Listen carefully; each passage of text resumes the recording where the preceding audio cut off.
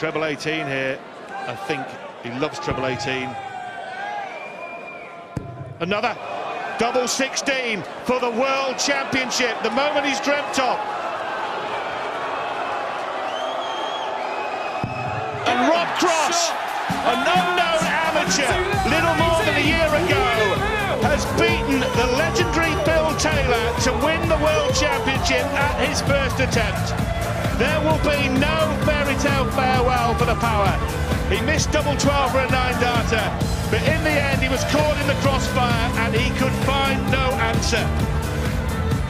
And while we celebrate the career of the greatest player ever to pick up a dart, tonight we salute a new world champion, a great world champion in Rob Cross.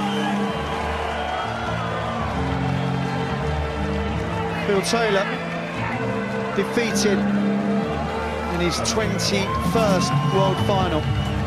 Won the previous 16 of those finals. Stats we will never, ever probably see again, but Rob Cross, the night belongs to him. He beats Phil Taylor by seven sets to